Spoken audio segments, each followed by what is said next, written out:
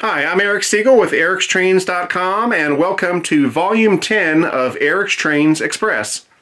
Alright, so what do we have here? Well, some of you may be familiar with these and others may not.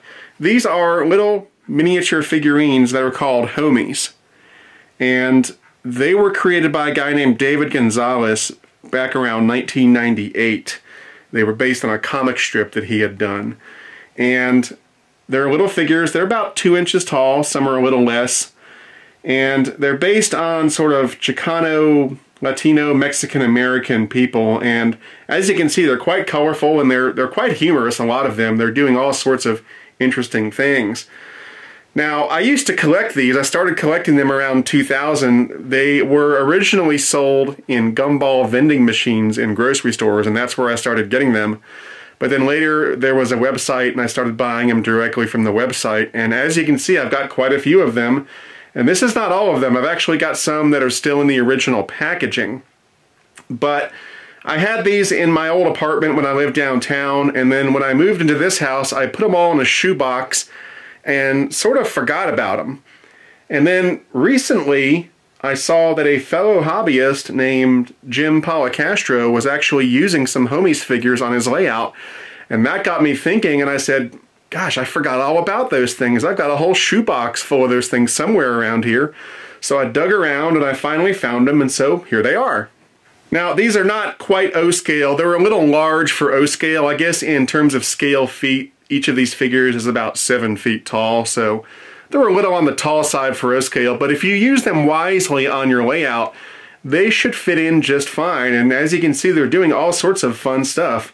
I mean, we've got a guy spinning records here. We've got a, a girl with twins in a stroller. Got a couple dogs.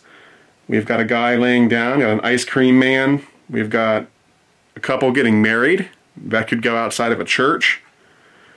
This is really funny. We've got the Grim Reaper over here. I guess I could put him at a grade crossing. Maybe he'd fit in there.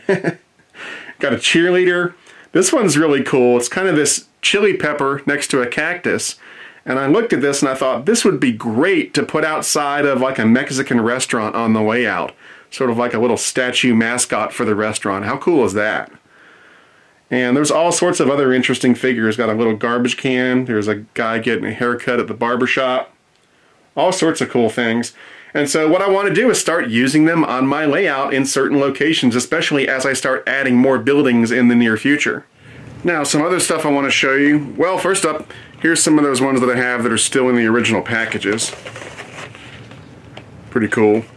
And then they also did some other series as well. So this is a pool hall series. Now these are way too big for O scale, but they might be good for something like G-scale or something like that. And then something that's pretty neat, now it doesn't apply to me, but it might apply to some of you guys. They did a series called Homie Rollerz. And these are actually 164th scale, so these are S scale. So for any of you that have S scale layouts, you can actually use these and they are perfectly to scale. And it comes with a car and two figures. Here are some of the S scale figures and cars out of the box. And as you can see, they look great. I could probably get away with using some of these figures on the layout if I use them deep in the layout to get some forced perspective.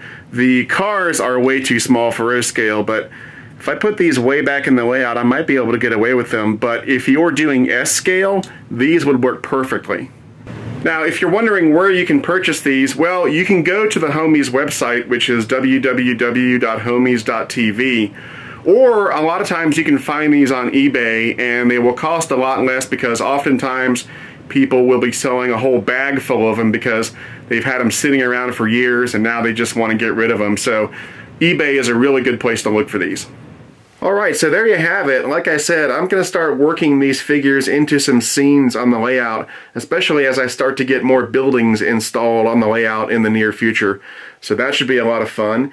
And once again, I'd like to thank Jim Policastro for giving me the idea and reminding me that I had a whole shoebox full of these things that were sitting unused, and it's great to finally have a use for them on the layout.